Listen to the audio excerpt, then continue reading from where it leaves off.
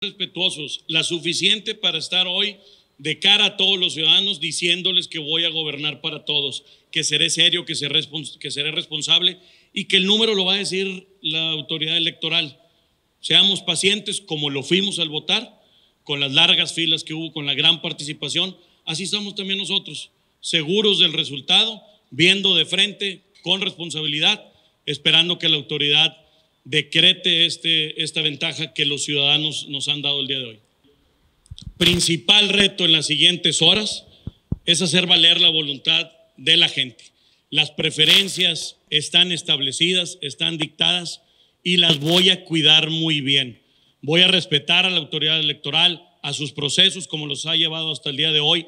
Reconozco a todos los regiomontanos que cuidaron las urnas que salieron hoy a cuidar e hicieron una labor cívica. A ustedes les debemos nuestro mayor respeto y por ustedes vamos a trabajar con orden, con responsabilidad, junto de la mano del siguiente gobernador, que es Adrián de la Garza Santos. Así es como lo vemos. Hay algunas